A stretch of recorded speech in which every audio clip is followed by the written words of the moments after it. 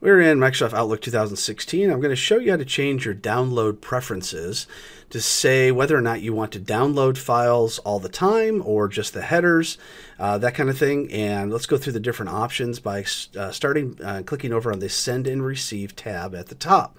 From here, we'll go ahead and click on the download preferences and you'll see a drop down item. And by default, you're going to see it's going to download full items every single time someone sends you an attachment. If you want, you can just download the headers and then the full items. If you uh, when you when you actually click on the email, then it will automatically download the items. Or you can choose to just download the headers, and then when you get an email with an attachment, you can right click on that attachment and then choose download at that time. This will definitely increase your security if you choose to do something other than download full items, which is, of course, the default.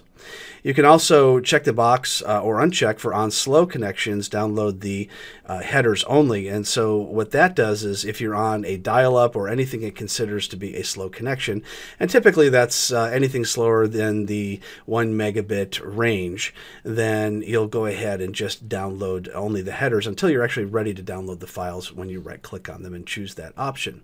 So that's how to change the download preferences in Microsoft Outlook 2016.